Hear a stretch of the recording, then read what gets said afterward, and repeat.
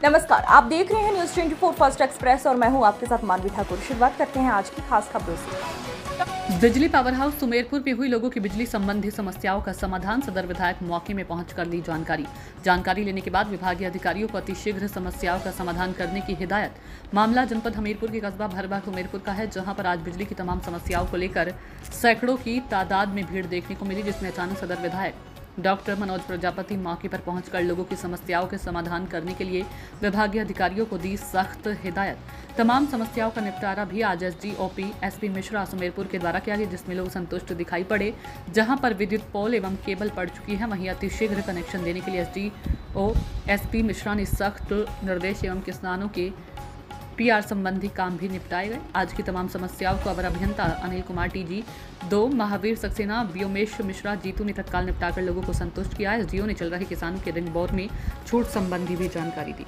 आज आप power house आए एसडीओ साहब से मिले आखिर किस काम के लिए आए? बिजली का बिल जमा करना और कोई समस्या थी आपके पास? हाँ समस्या थी। क्या?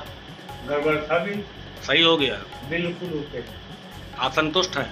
बिल्कुल संतुष्ट। क्या नाम है भैया आपका? कृष्ण कुमार। कहाँ से हैं? आज आप सुमेर को पावर हाउस आए। क्या समस्या थी? लाइट के संबंध में आए थे लाइट हटवाने के तो आपकी बात एसडीओ साहब ने सुनी? क्या कहा? कह रहे थे ठीक है हम देख देख करके उसको सही करा आप संतुष्ट हैं? कहाँ से आप? किस काम के लिए आए? क्या हुआ?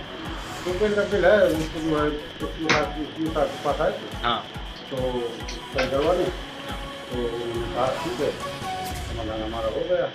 आप एसडीओ साहब की बातों से संतुष्ट हैं? संतुष्ट है। आपका काम हो गया? हाँ। चलिए बहुत बहुत धन्यवाद। समय उपभोक्ताओं की यहाँ पर भरवा सुमेरपुर पावर हाउस में बहुत भीड़ देखने को मिल रही है। आखिर क्या कारण है?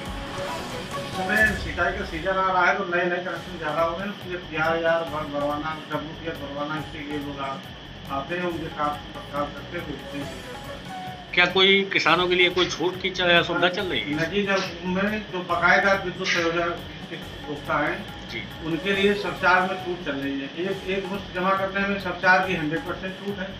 अगर तीन किस्तों में अगर जमा करेंगे तो नब्बे परसेंट छूट है अगर छः किस्तों में जमा करेंगे तो अस्सी परसेंट छूट है। ये सर कब तक चलेगी? ये तीस जून तक है। अच्छा अच्छा। और कोई सुविधाएँ इस समय चल रही हैं?